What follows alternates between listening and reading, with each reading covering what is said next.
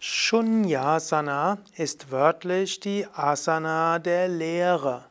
Lehre mit zwei E geschrieben. Dieses Asana wird in einem klassischen Text beschrieben wie folgt. Bringe die Fäuste auf den Boden.